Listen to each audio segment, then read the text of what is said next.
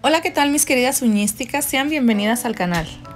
En esta ocasión les voy a mostrar cómo realizo un French con gel sobre acrílico cover o también puede ser sobre gel de estos que lucen muy naturales.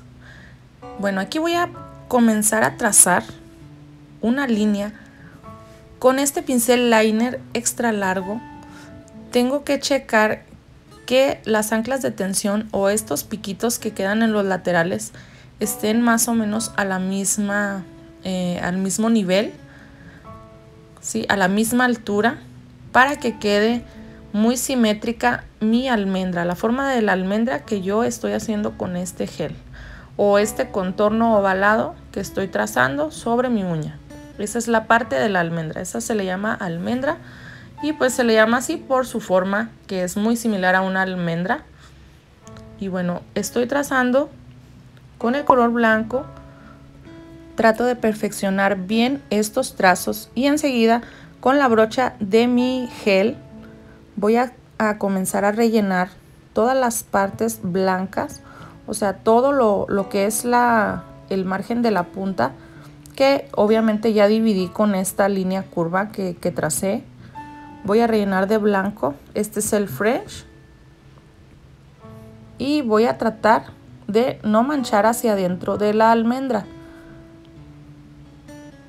Si llego a manchar eh, de esta forma va a ser sencillo limpiar ya que curé primero las líneas que tracé. Esto se los recomiendo a ustedes como principiantes. Incluso se los recomiendo si lo van a, a trabajar. Si a ustedes son un poquito más avanzadas Pueden realizarlo de esta forma para evitar manchar y evitar equivocarnos de, pues de una forma que, que no nos conviene a la hora de estar aplicando eh, las uñas a una clienta o hay personas que lo realizan, eh, o sea, todo de un solo paso, pero sí es muy necesario no equivocarse, o sea, ser muy preciso. Y pues la verdad, eh, a veces cuando estamos rápido haciendo el trabajo, pues es mejor hacerlo de esta forma para eh, ya tener nuestro margen y ya nada más rellenamos. Ahí sí lo podemos hacer como que un poco más rápido, ya sin tanta presión de que nos vamos a salir del margen, porque pues de esta forma sí podemos limpiar fácilmente. O sea, de la otra forma, tú estás haciéndolo rápido, manchas y muchas veces tienes que quitar todo el producto y volverlo a hacer nuevamente todo, o sea, desde un inicio volver a trazar la, lo que es la almendra y luego volver a rellenar. Entonces, por eso es que yo lo recomiendo de esta forma. Una vez que ya terminé todo el French, o sea, de todas mis uñitas, voy a aplicar el top para sellar. Este siempre lo tengo que aplicar. Para sellar el, lo que es la punta, no puedo dejar la uña así.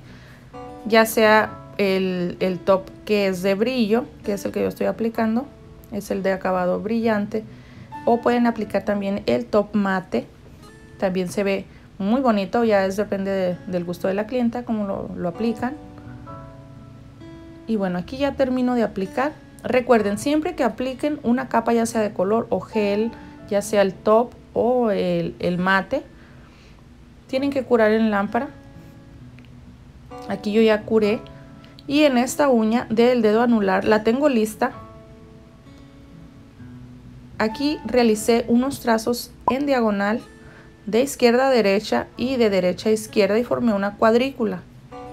En esta uña eh, apliqué un color cremoso, es un acrílico color blanco cremoso, no es así como que un blanco muy sólido, por eso se ve pues blanca la uña, pero sí se le distinguen las líneas blancas porque el color del acrílico es como un blanco tipo natural.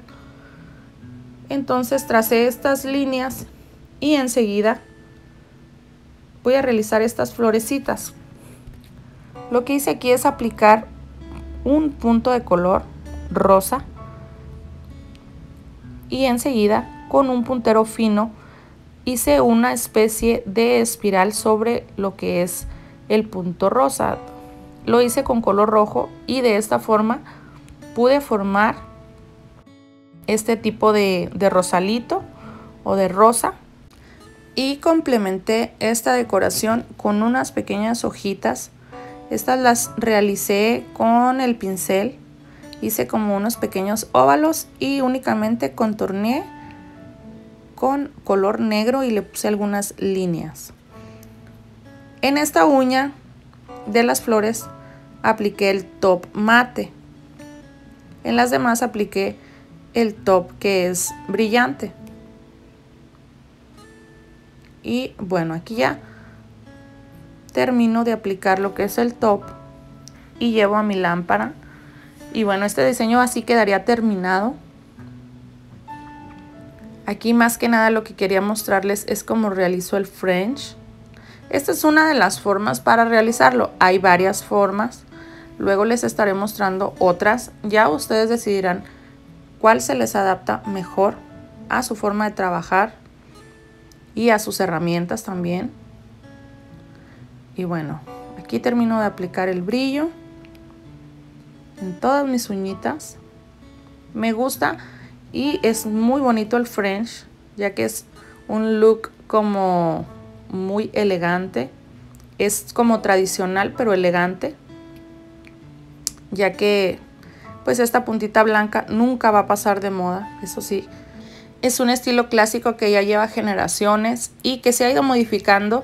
Si ustedes se fijan, antes era como que más redondito, ahora ya lo vemos un poco más ovalado o puntiagudo, pero nunca pasa de moda este French.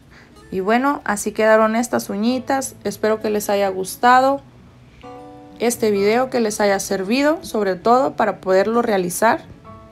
Si les gustó, denle like, déjenme un comentario y por favor suscríbanse y presionen la campanita para que los videos les lleguen al instante de que yo los suba.